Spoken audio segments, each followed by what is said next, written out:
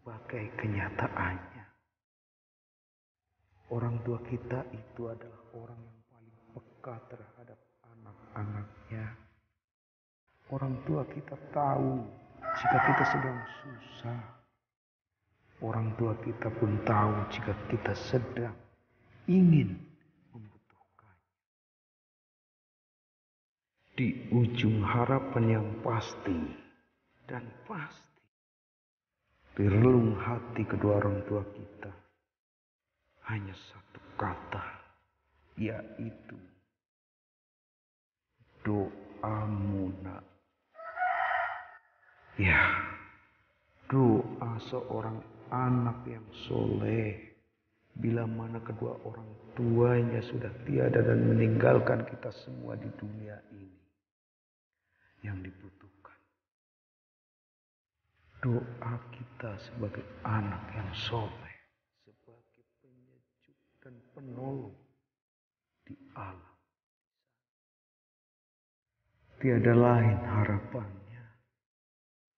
Yang mereka inginkan adalah ingin mempunyai anak yang bisa mendoakannya di saat orang tuanya sudah tiada di dunia ini dan sudah berganti alam tentunya di alam kubur sana. Tataplah tataplah kembali wajah kedua orang tua kita di saat kita sedang bersama. Bayangkan gambaran raut dari setiap lapisan wajahnya menggambarkan sebuah sisa-sisa perjuangan. Mereka melawan panas terik matahari, berkeluh keringat sedari bercita-cita ingin hidup bersama dengan seorang istri, ataupun sebaliknya istri pada seorang ayah dan memiliki karunia dari Tuhan yaitu merupakan anak-anaknya untuk meneruskan cita-cita ke depannya. Di situlah Sebelum terlambat, mari tataplah wajah ibu kita yang melahirkan. Kita tidak pernah melihat dia sedih walaupun hatinya sedih. Kepada seorang ayah, kita tidak pernah tahu betapa berat konsekuensi pikiran seorang ayah kita.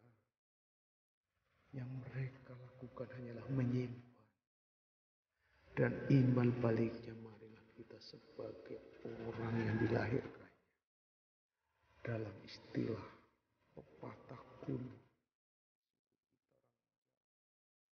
Jadilah anak yang bisa memikul dhuwur lan mendem jeru asmane wong Marilah, marilah kita sembah sujud kita kepada orang tua kita, ayah kita, ibu kita sehingga kita menjadi anak yang bisa berbakti mendapat barokah dari doa-doa. Tidak pernah mendoakan kita. Cintai kedua orang tua kita